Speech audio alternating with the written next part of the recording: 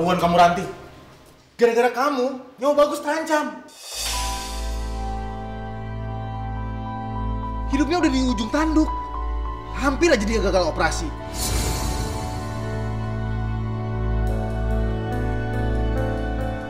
Habis banget ya aku tuh ya.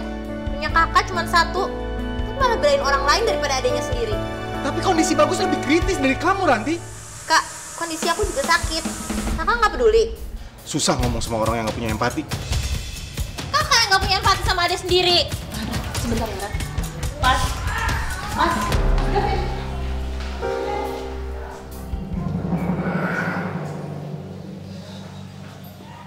Hai.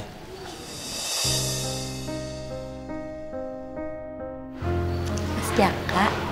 Manis banget sih senyumnya. Ini lagi sakit gak sih? Kok kayak nggak orang sakit?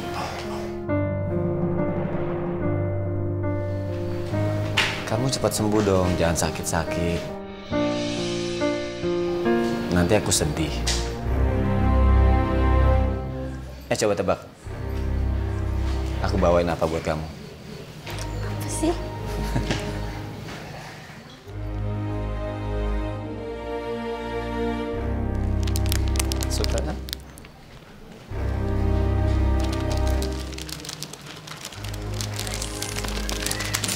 ya, Mas. Kayaknya emang cuma kamu deh yang ngertiin aku. Kakakku aja dari tadi nyalahin aku terus. Ya, aku berusaha ada di samping kamu terus. Boleh duduk gak sih? Duduk, duduk silakan.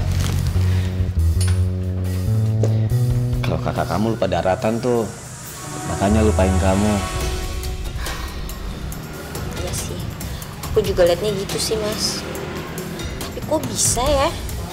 Aneh banget. Nggak ada yang aneh sih. Pasti kamu sendiri juga tahu. Murti paling jago pencitraannya. Kasihan kakak kamu. Dan kamu harus lebih hati-hati. Takutnya harta kekayaan keluarga kamu diambil semua sama Murti. Realitasnya tuh gini. Murti itu anaknya empat. Dia nggak punya kerjaan. Dia besarin anak-anaknya sendiri. Dia tahu karena Gavin itu sayang banget sama dia. Dan dia tahu Gavin akan ngasih apa pun buat dia. Dia manfaatin itu semua. Emang licik banget itu cewek. Kasian dong Kak Gavin. Kalau nanti nikah sama dia. Masa cuma disuruh ngebiayain hidupnya doang? Jadi aku harus gimana dong, Mas? Mas Jaka tolong dong. Kasih pelajaran tuh si Murti. Kamu tenang ya.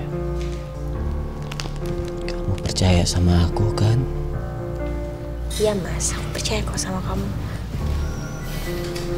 Emang cuma kamu ya kayaknya yang peduli sama kebahagiaan aku.